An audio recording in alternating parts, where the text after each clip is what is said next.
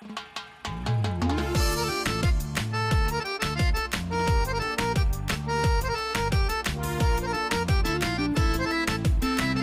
to Bread and Roses. Hi everyone, I'm Maryam Namazie.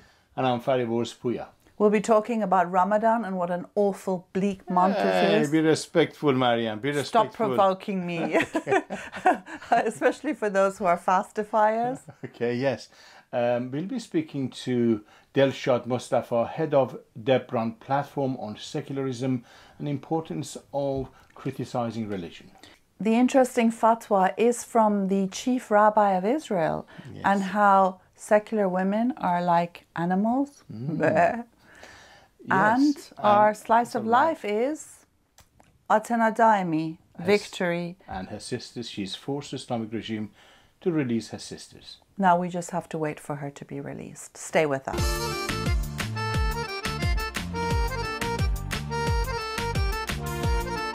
Ramadan is a bleak, awful month for lots of people because of pressures, uh, you know, into conforming and and fasting, but also because lots of people who don't want to fast are forced to or are persecuted if they're not. They're arrested, they're harassed, you know. And I think it's important for us to stand with those who are defying fasting rules and who are being persecuted. It's important for us to do that. And ooh, Sorry. Okay. now, the I, I think the issue is sorry, Maryam. While, while we uh, talking about Ramadan, I think um, the issue is that um, the, you have a compulsory uh, sort of um, system in um, Islam that anybody who does not comply publicly, people are punished. Um, they are flogged in some countries. There, there are some countries actually the, equated with heresy, and people are executed in extreme cases. I've heard of that in Sudan actually. This is and also happened. Islamic State, don't Islamic they is absolutely yeah, yes. Yeah, yeah, so you have a range of uh, punishment in various countries, from uh, execution to public flogging to Mm. imprisonment. Uh, where is- Islam has uh, political power, they actually enforce it by uh, police and security forces. Where they don't have political power, they try to use other means like arguing for respect for the belief, um, tolerance, and that sort of thing. I Mm-hmm. Think that is important to recognize. and what about that. But be- tolerance be- for be- our be- own beliefs, for beliefs of people who don't want to have But before we do that, Maryam, can we just sort of bring to those people to who the health of those who don't want to fast in support of them. absolutely, and this is important. Public standing. Hmm. It, it actually majority of people in Islamic-ridden societies who do not want to comply with the uh, public uh, announcements and public uh, punishment, and they don't want they want religion to become a private Yeah, and there's lots of examples of how horrendous it is really for people. For example, uh, I just read about an Indian doctor who was fasting and he refused to help a, um, uh, one of these uh, a, a worker who wasn't able to breathe. And he said, He's too filthy, I'm not touching him because I'm fasting. And the man died. And of course, there are other examples. In uh, Tunisia, for example, they've arrested four men uh, for eating and smoking in public gardens. and you see this in Iran. Uh, with, with the beginning of months of Ramadan, you'll see actually public uh, police announcements about types of punishment and imprisonment they're going to mete out to everybody. And every day we see young people who've been arrested, even in the cars, uh, been pulled out for chewing gum, smoking, drinking water. Restaurants and all the shops who actually sell food or anything uh, of that kind c- are forced to cle- uh, close from dawn to dusk. So it, it doesn't matter who is in need of a medication or or you know food or anything. They just close the whole thing down, and this is oppressive month for everybody. It's very unhealthy too not to eat for so many hours, especially in, in places where it gets so hot. You mm. really need water. I mean, mm. physically, you need it, and also, I mean, you you hear about how it affects the society at large. For example, in Palestine, the um, a judge has said that he's not going to allow for divorces to take place during that month because people are so hungry and thirsty that they make absurd decisions. And there's even news about how in Saudi Arabia the um, you know road rage has in- increases during this month. Yeah, and but- so it's got really adverse effects across the Uh, board. So there are different different aspects to this. One is the health effect. Actually, the consumption of food it skyrockets in months of Ramadan Yeah. because it's obscene, really. Absolutely, it, at dawn people just eat so much because they need to survive through the day and the evening. And in the evenings they start, you know, you know, they just carry on eating again and they sleep on it. But anyhow, the- it's just the whole the issue of unhealthy eating. That's a separate issue. The import, I think, the issue for me is the fact that state uh, publicly and in where there is no state power.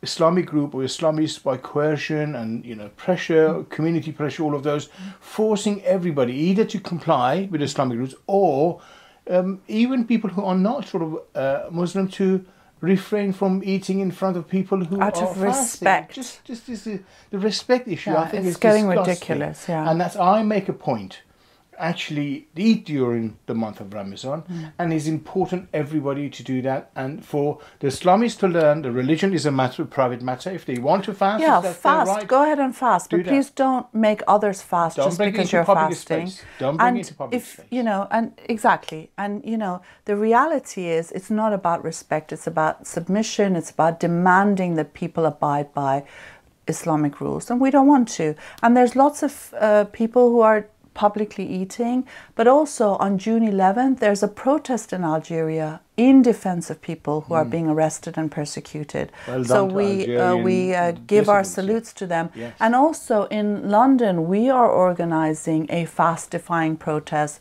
in front of various embassies, from the Iranian embassy to the Saudi embassy and so on, on June 23rd That's a Friday, the day before the last day of, day of Ramadan. Yes. So do join us if you can. And you, you know, last year we had this event; it was great. The only embassy that called the police was the Iranian uh, embassy. And when the police showed up, we asked them, "Well, what did they tell you? Did they say there's a couple of people eating and drinking in front of our embassy? You know, please protect us." Uh, so it, it, it's important. I think it's not it's not a joke, even though. it- It's quite fun to be Yes, able to drink yes. on And- and- TV. I love it. And make a, pro- a point of protest. But I think It's the issue to is that it. the issue is that not to just condemn punishment in Islamic societies, but also defend the right of people to eat everywhere and recognize that the question of respect now and tolerance is another form or another name for submission. No submission, complete defiance. Salute to those who are defying the Islamist rule everywhere.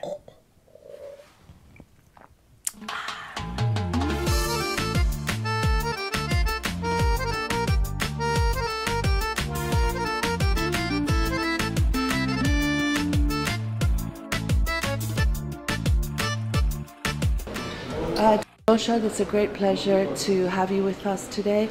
I wanted to ask you about your Congress. This is the third Congress Dabran is holding. What's the slogan? I think religion for the individual, democracy for, for all. Can you explain that, please? Yeah, uh, the third conference of Dabran platform, uh, it will be start today, and the slogan is, as you said, uh, religion for individual and democracy for all. In these societies, in these closed societies, as you know, we have got religion in everywhere. Everywhere we will use religion to explain our life, to do what we need to do in our life as well. In this conference, we will try to discuss some of these notions uh, in, uh, in terms of uh, explain or to critique all the uh, contribution of religion in everywhere in our life. That's the main aim of this conference. And uh, tell us a bit about the Dabran platform. It sounds very, you know, exciting and something really important, not just for Kurdistan, but for the world. Yes, we want to contribute in a world a new vision about religion as well. We have got uh, many uh, delight guests here, and they will transfer their experience uh, with the radical Islam or radical religion and everywhere in the world, and we will try to take place in the world uh, new uh, vision or new uh, notion towards religion and towards radicalism, towards fundamentalism, and all of the religions as well. It's not just Islam, it's not about just Islam, it's about religion and our life. You mention the term enlightenment a lot in Dabran platform, and some will say the enlightenment is a Western concept. It's not applicable to the Middle East. Yeah, the enlightenment concept, however, it's a uh, it comes from uh, Western society or Western culture, but we will try to uh, transfer it, convey it in a new concept or in a new context exactly. The new context is how we can use all of these terms, notion, concepts in our society in the Middle East as well. We have got many thinkers, many people who have a very good relationship with these concepts and with these terms, and they will try to translate all of these things, all of the thinkers' uh, view to our society in Middle East and in Kurdish society in particular. The other thing that's very clear when you uh, look around Suleymania is this idea that secularism is so important here as well. Uh, can you explain that? the secularism as a term, it has been discussed in our society in the last two decades. It's not new for the Kurdish society because uh, one of the great party here, which is uh, Patriotic United of Kurdistan, they will try to uh, discuss this uh, term and uh, moreover some of the other uh, communist parties as well they will try to discuss this and to bring this in our society in Suleimania as you see because they name it the capital of culture in Kurdistan. Most of the people here, they are intelligent people, and they will try. These uh, people try to show the world they are deserve to be in this city, they are deserve to be in the capital of culture in Kurdistan. For that, we can see a variety of people here. Uh, secularism will be the main uh, slogan of the city, and after that, we can find all of the believers here uh, because it's an open society and the city tries to show the world how we can live together, how we can be together. That's the main uh, point of the Suleymaniye city. What sort of support can people outside give to Dabran platform and to secularists and the enlightened here in Kurdistan? Uh, sorry, Sorry, um, the sort of uh, support people can give uh, yes. here to this to the Dabran platform and to people here. Yeah, uh, all the people who uh, working here in the platform Dabran platform. There are people coming from the academic sectors. There are people coming from uh, the other type of work here in Kurdistan. And uh, out of this, we have got many politicians who tries to support us, who tries to convey our message to the others. And these politicians are people who uh, maybe um, have got their allies, they have got their funds, and all of these, all of their speech will uh, affect the society, will affect a group of peoples. And most of these mechanisms, uh, which we plan to use it in Dabran platform, will go to support the Dabran strategy to convey the uh, notion of enlightenment, the notion of secularism to the other people. We are just not trying to stay inside the narrow society of intellectual people. They will try to convey these to the whole society, from the street man to the academic man as well. For that, we need support from outside the world. We need support from politicians, from uh, religions, from everywhere, everyone who can support this because we want to live in peace. We need peace in this Middle East area. As you know, we experienced a lot of war, wars and we have experienced a lot of violence uh, in the name of God, in the name of religion. For that, we will try to get support from everywhere. Okay, thank you so much. thank you.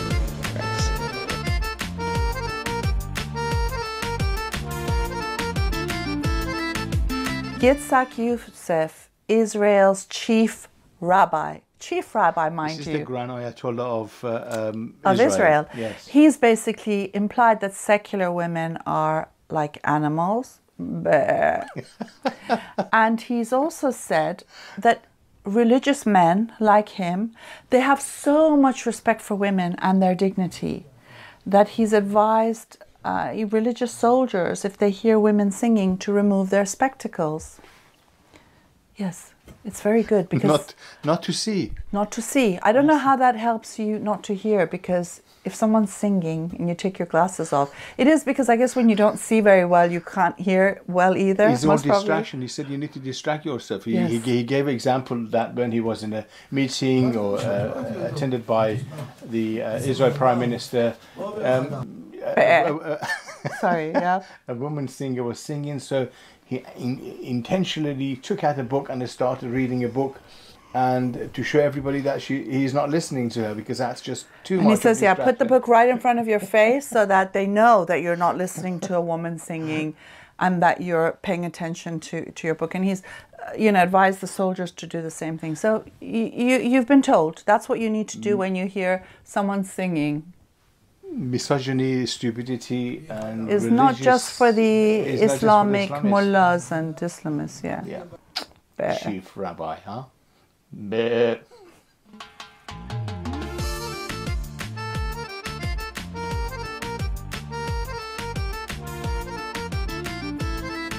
After 52 days, Atena Daemi, a children's rights activist, has ended her hunger strike. And that's wonderful news for us because we need Atena, we need her alive, healthy, and well, and we're glad her hunger strike's ended. And that's because the Islamic Republic of uh, um, Iran has released her sisters who were incarcerated because of her activities and she went on hunger strike. Now, the Islamic regime has retreated and released her sisters.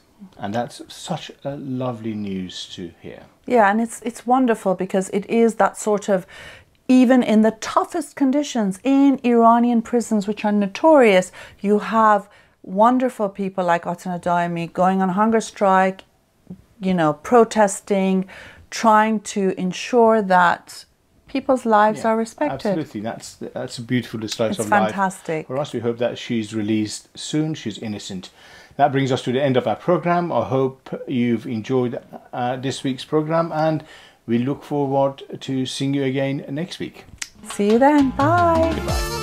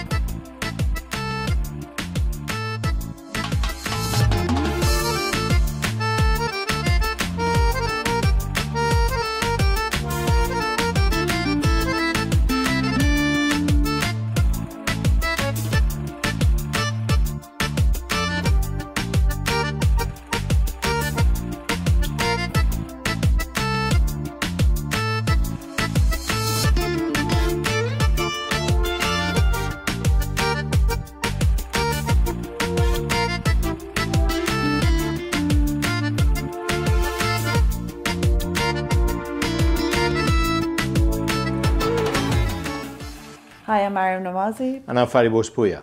We're hosting a program called Bread and Roses. It's a weekly program that's broadcast in Persian and English in the Middle East and North Africa, primarily Iran as well. And it's also shown on YouTube internationally. And we've been doing this since last May. We're coming up to our year's anniversary, and we, Yeah. we've had quite a lot of fun making these videos. We discuss taboo breaking, free thinking ideas. The Islamic regime of Iran has called us immoral and corrupt. And that's why the, you need to support us. We are and the alternative voice in Middle East and North Africa. of corruption and immorality. So do support us. Here's a short video from Patreon that explains how you can help us with even just $1 a week. That's nothing. Support us. Patreon lets fans become patrons of their favorite artists and content creators. It's different than Kickstarter because it's not about one big project that requires lots of funding. It's more for bloggers or YouTubers or webcomics, anyone who creates on a regular basis. Here's how it works. When you become a patron, you're agreeing to give an artist a tip of an amount you set every time they release a piece of content, whether it's a new song, a video, or a recipe.